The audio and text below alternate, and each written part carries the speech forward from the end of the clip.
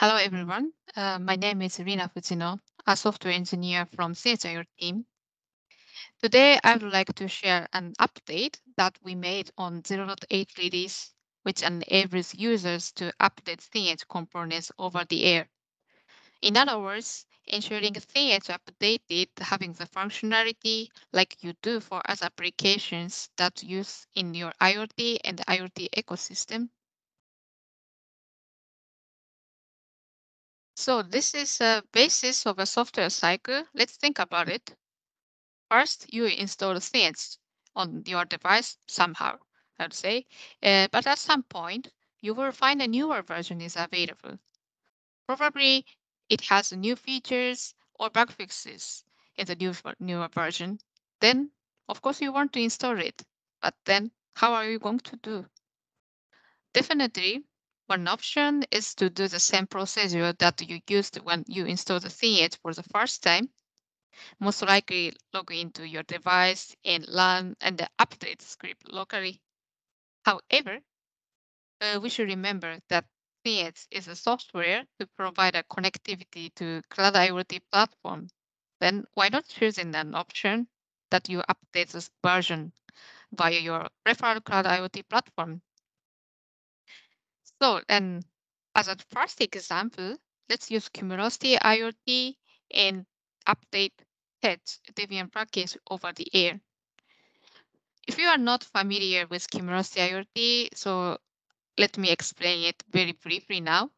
Cumulocity IoT is a cloud IoT platform which has a feature to manage install software on the connected device. Yeah, okay, so let me start the first demo now. So first of all, I have the Raspberry Pi at my place, and uh, I already uh, configured all information which thin-edge requires. And now I'm going to connect to Cumulocity.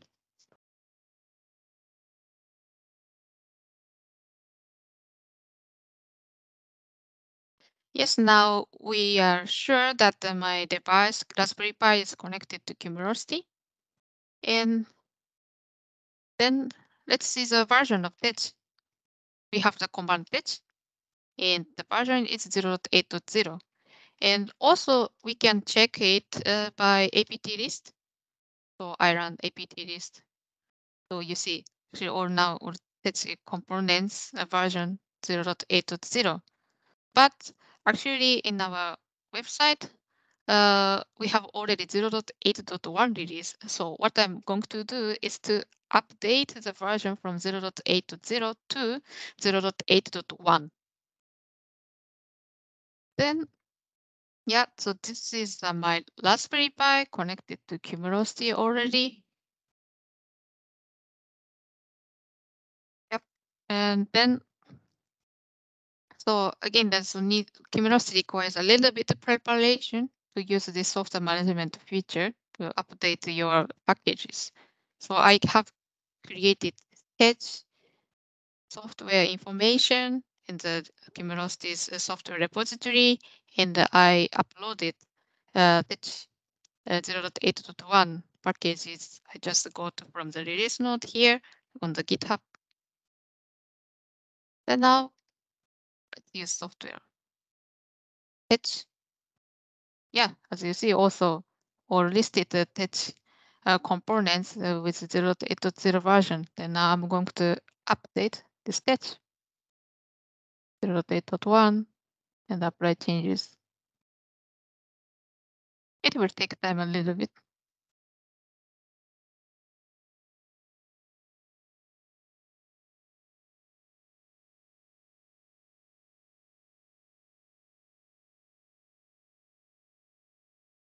Okay, very good. Now it marks green. That means it's successful. So back to my Raspberry Pi. So let's execute it again. Then you see now 0.8.1 version. And also we can check from apt list. Yeah, here 0.8.1 is reported. And also the last one we can check from Cumulocity which software version is reported. edge. Yes, 0.81. Very good.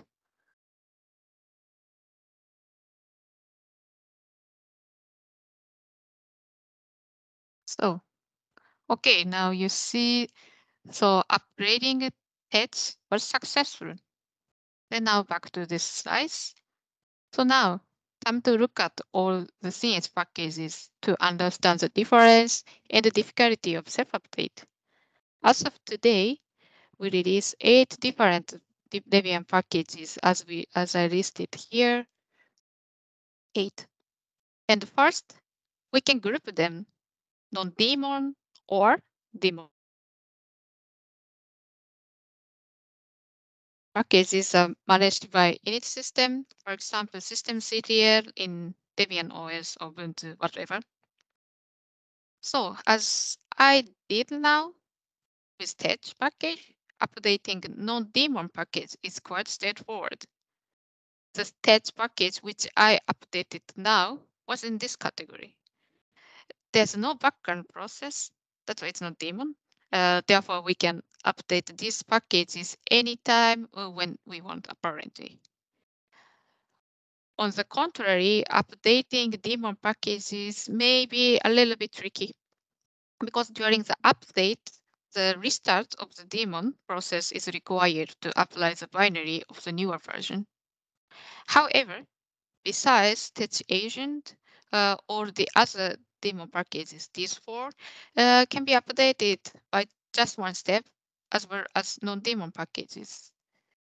So yeah, better to see it. So that's why I'm going to show you the second demo now, how to update tedge-mapper as a daemon package uh, via Cumulocity IoT as an example.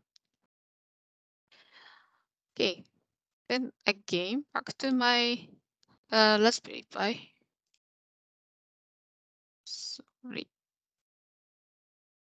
Yes.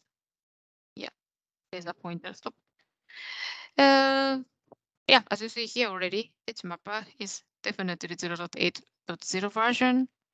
And also we can see that status of mapper service. It's uh, controlled by systemctl because I'm using uh, Raspberry Pi OS.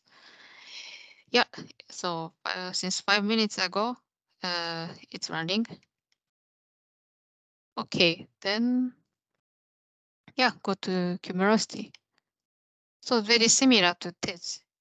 So I have already uh, prepared the edge mapper. Yeah, here, sorry, I found it now. Yeah, so here edge, edge mapper 0.8.1 WAM HF. And I'm going to update from here now. The point is that mapper process is still running. Then I'm going to trigger the software update.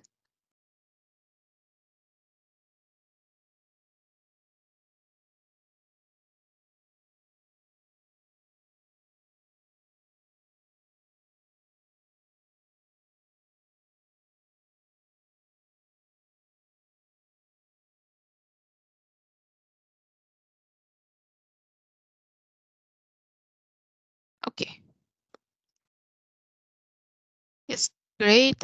Um, now that mapper update operation is marked successful. Then let's check what happened here. My Raspberry Pi. But let's check with the apt list. You can see that mapper is now 0.8.1. And also check the status. Yes, it's still running, but if you see it, this uh, uptime uh, since 30 seconds ago. So actually, so during the process of uh, a package update, uh, this state mapper uh, process is stopped and started again. Okay, then also let's confirm which version is reported to Cumulocity. It's Yes, great. Version 0.8.1 is reported for tedge-mapper. So again, the, system was successful. This is very good. So let's continue this slide. So as you see now, you could see the procedure to update tedge mapper is exactly same uh, as what I did for tedge package. So then the last part, I need to touch this ex exception. So there's only an exception, which is tedge agent. In short, after updating the tedge agent, you need to restart the tedge agent service to apply the new version. The question is why do we need to why do we need a restart of the of the service? Sorry, uh, because tedge agent process must be running during updating the tedge agent package. We cannot kill the tedge agent process in the middle of updating the package by APT. Therefore, the old version binary is still used unless you restart the service. And finally, after you restart the service, the binary of tedge agent will be replaced to the newer version. So I'm going to show you the last demo, how to update tedge agent over the air. Again, just a confirmation, tedge agent on the My Raspberry Pi is 0.8.0. And the status, let's check it. tedge agent service, it's running, important, and also uh, uptime since nine minutes ago. And then Cumulocity side. So again, it's the same procedure. So I have already uploaded this tedge agent 0.8.1 package. And then I trigger now.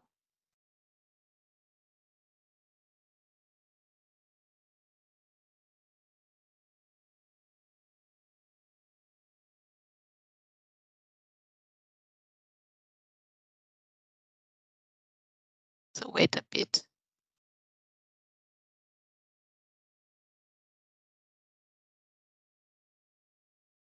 Okay, great. It's green. So let's check first. Uh, package information by APT. So see here, tedge agent is now 0.8.1. But we need to be careful to check the status of tedge agent service. So this one is running since 10 minutes ago. So that means still old uh, binary is used for tedge agent. Now we need to um, restart the tedge agent service. One option, of course, I can restart from here locally. Uh, but this is over the air self update. So I would like to restart the service from Cumulocity, not using this terminal. Uh, Cumulocity has one function. It is called cloud remote access. Um, so you can uh, establish this SSH connection from Cumulocity to your device, which is connected to your Cumulocity tenant. And I have configured everything. Uh, I'm going to connect.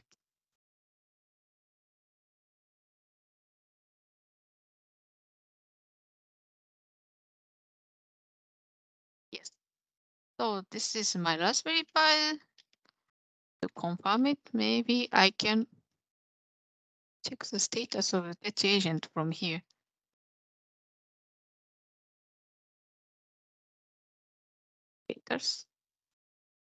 Yes, 11 minutes ago. Yes.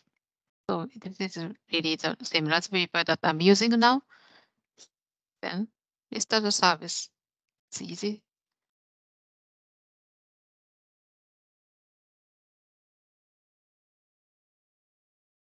Yes.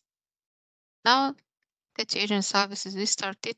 I can confirm from like another terminal. Yeah, eight seconds ago. So uh, this is uh, the procedure how to update tedge agent package over the air with Cumulocity IoT.